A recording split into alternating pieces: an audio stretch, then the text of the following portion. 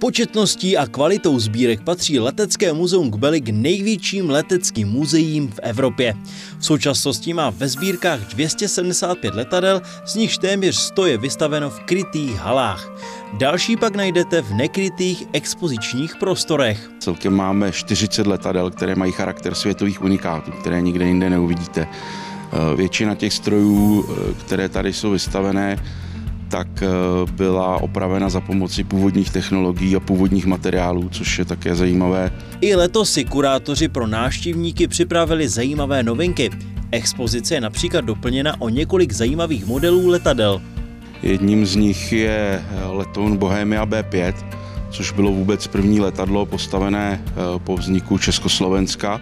To letadlo postavili nadšenci v Plzni už v roce 1919 a eh, my ho tady vystavujeme vlastně tak, jak, eh, jak bylo dokončené.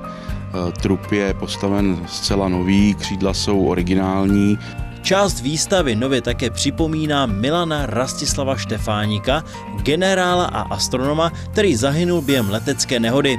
Právě v tomto roce si totiž připomínáme 100 let od jeho úmrtí. Návštěvníci tohoto hangáru můžou vidět krom teda pohřebního kanonu, na kterém se vezly ostatky při pohřbu Rastislava Štefánika v roce 1919 Eh, jeho rakev. Ve vitríně potom návštěvník může vidět eh, pozůstalost, pozůstatky vlastně ze Štefánikovy uniformy, potom i koustky letadla, s kterým spadl a samozřejmě fotografie eh, jak z pohřbu, tak přímo Rostislava Štefánika. Zájemci mohou obdivovat kryté i venkovní expozice letadel a vojenské techniky do konce října tohoto roku a to zcela zdarma.